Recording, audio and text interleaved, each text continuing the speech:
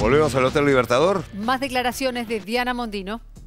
Todas las confirmaciones van a estar el 10 de diciembre, igual que los planes. Alguna gente, como tiene que trabajar y armar equipos, etcétera, se pueden ir conociendo antes, pero vamos a tratar de que sea todo simultáneo. Y les digo por qué simultáneo, porque si vos pones un pedacito y no sabes cuál es el otro, como la, la camisa y el pantalón, si no te pega, a lo mejor funciona igual, pero mejor sería que funcione.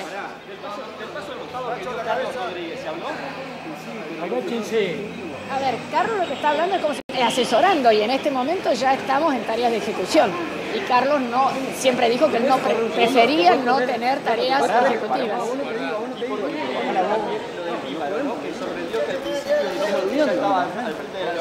Y hoy, bueno, una nueva cara, un nuevo rol en ese lugar.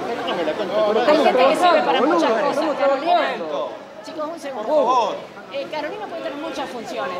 Entonces estamos tratando de ver cuál es la mejor y más apropiada para la- las actividades que ella tiene. Diana, Che, confirmaron pará, pará, también- Déjame que me acerque un poco porque estos se van a caer. Yo me acerco y ustedes córranse. Confirmaron también que- Para, a ella, eh, ey, perdón, le voy a contestar nada más que a ella porque está sufriendo físicamente. Las intenciones entonces de seguir adelante con el plan del Banco Central, sigue adelante el plan de cerrar el Banco Central, lo anunciaron por comunicado. Que siempre se dijo, el Banco Central es una metáfora, no vamos a destruir el edificio que además es bellísimo. Este, es decir, vamos a tratar de terminar lo más pronto posible con esta función de creación de moneda que tiene el Banco Central. Va a haber un funcionario transitorio entonces, entendemos que se va a sacar... A ver, las funciones del Banco Central son múltiples. Vamos a tratar de cortar, pero no se puede cortar en un solo día. Simplemente fíjate los compromisos que ha asumido ya el gobierno, eh, que en este momento es muchísimo, y para eso se necesita de alguna manera la financiación.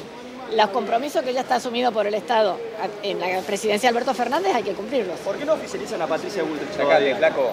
Eh, ¿Por qué hemos dicho que hasta el 10 de diciembre no vamos a oficializar a nadie? ¿Puede ser que, Flor- que Florencio Randazzo se sume al equipo desde el Congreso con la presidencia de diputados?